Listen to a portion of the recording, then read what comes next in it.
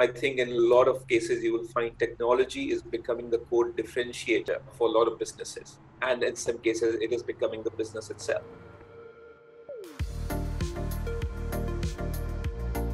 My name is Vinay. Um, I'm Vice President and Business Head for UK and Ireland Banking, uh, Financial Services and Insurance sector for TCS. TCS is the largest provider of IT services.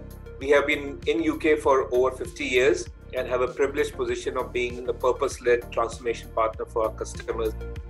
We have very strong relationships with our customers that go uh, over decades and that gives us huge contextual knowledge about both our customers and the markets that they operate in, putting us in a very responsible position to be their transformation and a growth partner as they are looking to take uh, the journey into the uh, post-pandemic world.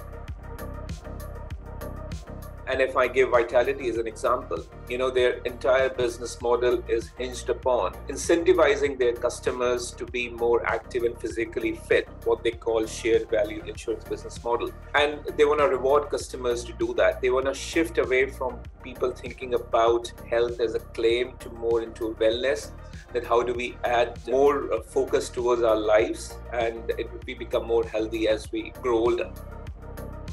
So we, we try and make sure from a ecosystem perspective, we are able to bring the best of industry to our customers uh, so that we help them in a purpose-led transformation that they need to do.